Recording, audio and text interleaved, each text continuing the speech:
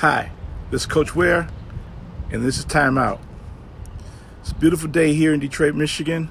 It's Saturday, day before Easter, the day that Christ, Christ rose from the grave.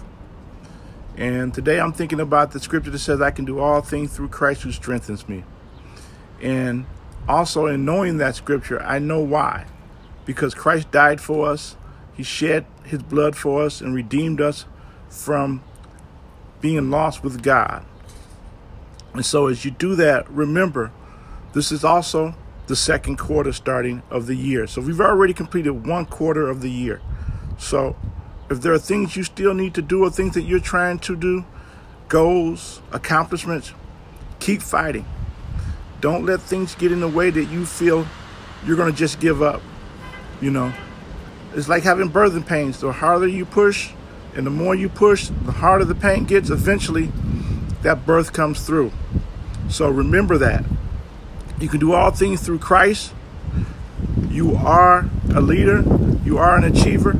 With Christ, He bigger than anything, there's nothing He can't do.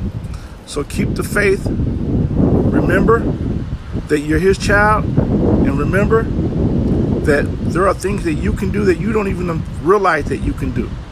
So, Happy Easter. God bless you. And remember your why. Bye bye. We love you.